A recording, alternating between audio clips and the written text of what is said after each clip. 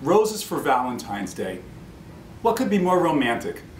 Hi, I'm Gary, your floral expert here at ShopRite. We have so many rose options here at ShopRite that can make your Valentine smile. Of course, classic red, but there is also a full range of colors. Today I'm sharing some tips with you that will help keep your roses looking fresh and beautiful. When you're in the store, Look for roses with smooth, colorful petals on strong, straight stems. Some people believe if the head of the rose feels firm, it's a sign of freshness. That's not the case. It's really just an indicator of petal count, which can vary greatly depending on the rose variety. So please don't squeeze the roses. When you get your roses home, start with a very clean vase. This helps minimize any bacteria that can enter the stems and prevent water from being absorbed.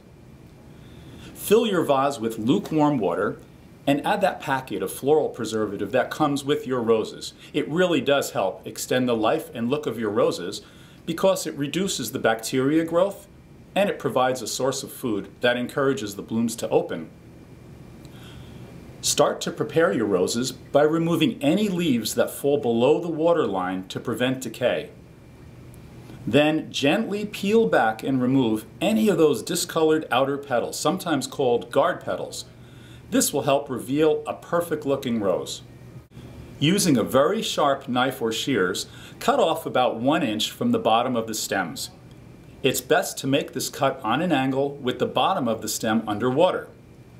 Plunge that stem immediately into fresh, lukewarm water to prevent air bubbles from entering the stem, which could cause your rose to bend over before opening.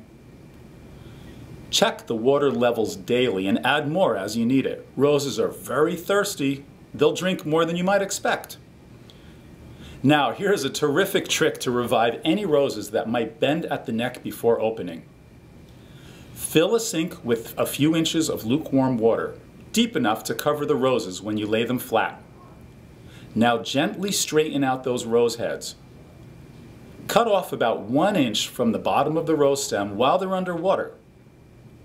Now place a light weight such as a plate on top of the roses to keep them underwater for about 15 to 20 minutes. This will allow water to fill those stems again and travel right up to the neck of the rose and that'll hold the head upright again.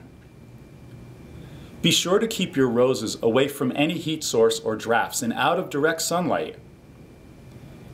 To make your roses last and look beautiful, every two to three days, clean the vase, refill it with fresh water and preservative, and give those stems a new cut.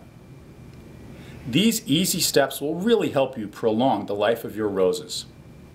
Enjoy your beautiful Valentine flowers from ShopRite.